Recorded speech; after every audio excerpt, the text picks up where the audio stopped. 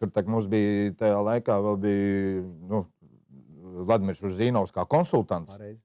Viņš mums bija konsultants. Un, un tajā laikā nu, vārds Vladimirs Urzīnovs. Nu, nezinu, Autoritāte tā, tā bija. Tā bija Skotijas Bowmanas kanālā. Nu, Nu, jā, nu, jā. nu, tuvu tam. Tuvu tam, Jā. protams. Un, un tas bija vēl viens tāds uh, interesants pagrieziens, un uh, bija kaut kāda mums sapulce. Un, un kaut kādā veidā tā tad uh, mums bija sapulce, tāda ienāk, un kaut kas tur atkal vārds pa vārdam.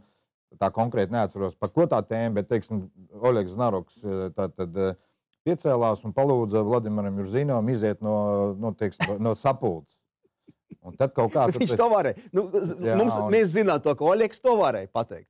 Un, tad, un, un, un tie vārdi, es atceros, kā tagad tas man atkal kā galvā, kaut kā ejot ārā, vai, teiksim, eh, Vladimirs Jurzīnos, nu kāda personība hokejā, es saku, tas likās, ka viņš ejot ārā, viņš pateica, uvažaņi komanda, uvaža banda.